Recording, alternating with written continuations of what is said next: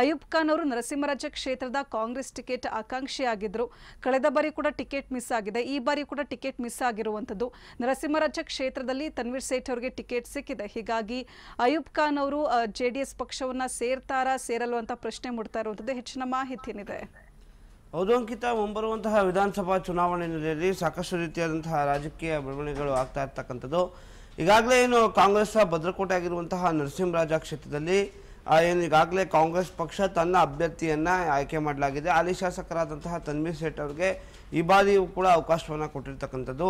ಆದರೆ N R ಕ್ಷೇತ್ರದಲ್ಲಿ ಒಂದೇ ಕುಟುಂಬಕ್ಕೆ ನೀವು ಅವಕಾಶವನ್ನು ಕೊಡ್ತಾ ಇದ್ದೀರಿ. ನಮಗೂ ಒಂದು ಅವಕಾಶವನ್ನು ಕೊಡಿ ಅಂತ ಕೂಡ ಸಾಕಷ್ಟು ಕೂಗುಗಳು ಕೇಳಿಬಂದಿದ್ವು ಮಾಜಿ ಮೇಯರ್ ಹಾಗೂ ಈ ಭಾಗದಲ್ಲಿ ಒಬ್ಬ ಪ್ರಭಾವಿ ಮುಖಂಡ ಆಗಿರುವಂತಹ ಅಯೂಬ್ ಖಾನ್ ಅವರು ಕೂಡ ಪ್ರಬಲ ಆಕಾಂಕ್ಷಿಯಾಗಿದ್ದರು ಕಳೆದ ವರ್ಷಗಳಿಂದಲೂ ಕೂಡ ಮಾಜಿ ಮುಖ್ಯಮಂತ್ರಿ ಸಿದ್ದರಾಮಯ್ಯ ಅವರ ಆಪ್ತ ಮಳದಲ್ಲಿ ಕಾಣಿಸ್ಕೊಳ್ತಿದ್ರು ಕಳೆದ ಬಾರಿಯೂ ಕೂಡ ಏನು ಒಂದು ಅವಕಾಶವನ್ನು ಕಾಂಗ್ರೆಸ್ ಪಕ್ಷದಲ್ಲಿ ಕೇಳಿದರು. ಆಗ ಸಿದ್ದರಾಮಯ್ಯವರು ಮುಂದಿನ ದಿನಗಳಲ್ಲಿ ಒಂದು ಅವಕಾಶವನ್ನು ಕೊಡ್ತೀನಿ ಎನ್ನುವಂತಹ ಭರವಸೆಯನ್ನು ನೀಡಿದರು. ಆವಾಗಲೂ ಕೂಡ ಜೆ ಡಿ ಎಸ್ನ ವರಿಷ್ಠಗಳು ಏನು ಅಯೂಬ್ ಖಾನ್ ಅವ್ರನ್ನ ಸಂಪರ್ಕವನ್ನು ಕೂಡ ಮಾಡಿದರು.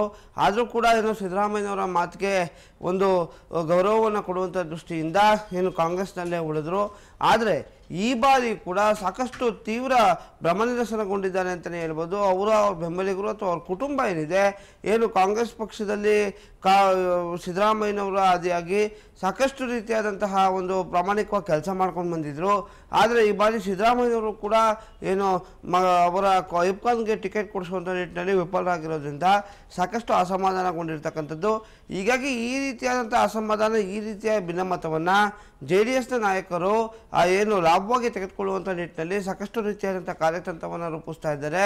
ಏನು ಅವರ ಕುಟುಂಬದವರು ಅಥವಾ ಅವರನ್ನು ಕೂಡ ದೂರವಾಣಿ ಮೂಲಕ ಸಂಪರ್ಕವನ್ನು ಮಾಡ್ತಕ್ಕಂಥದ್ದು.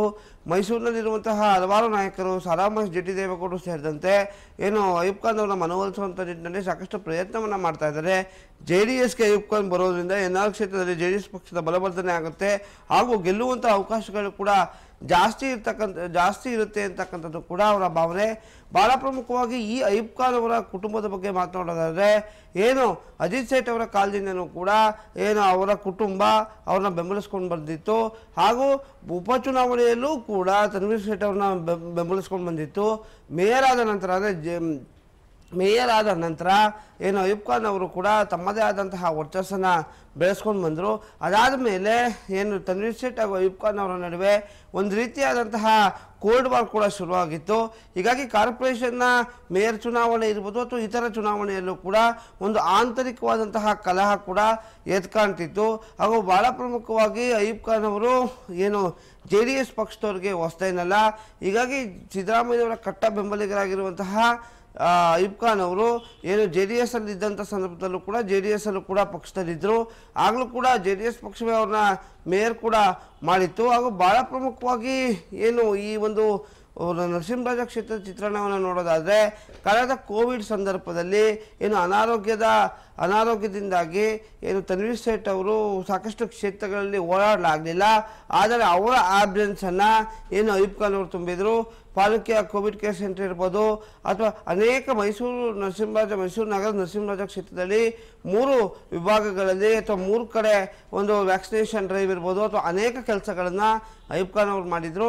ಹೀಗಾಗಿ ಕ್ಷೇತ್ರದಲ್ಲೂ ಕೂಡ ಅಯ್ಯೂಬ್ ಖಾನ್ ಅವರಿಗೆ ತಮ್ಮದೇ ಆದಂತಹ ಒಂದು ಬೆಂಬಲಿಗರ ಪಡೆ ಹಾಗೂ ಒಂದು ವಿಶ್ವಾಸಿಗಳ ಪಡೆ ಇರ್ತಕ್ಕಂಥದ್ದು.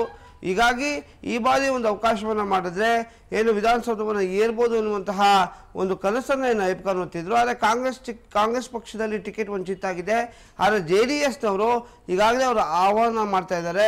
ಹಾಗೂ ಎರಡು ದಿನಗಳ ಕಾಲ ಕಾಲಾವಕಾಶವನ್ನು ಕೂಡ ಕೇಳಿರ್ತಕ್ಕಂಥದ್ದು. ಹೀಗಾಗಿ ಅಯ್ಯಪ್ ಖಾನ್ ಅವರು ಯಾವ ನಿರ್ಧಾರವನ್ನು ಮಾಡ್ತಾರೆ ಅಂತ ಕೂಡ ತೀವ್ರ ಕುತೂಹಲ ಮೂಡಿಸಿದೆ ಅಂತಲೇ ಹೇಳ್ಬೋದು ಅಂಕಿತಾ. ಧನ್ಯವಾದ ಯಶಸ್ ಮೋತರ್ ತಮ್ಮೆಲ್ಲ ಮಾಹಿತಿಗಾಗಿ.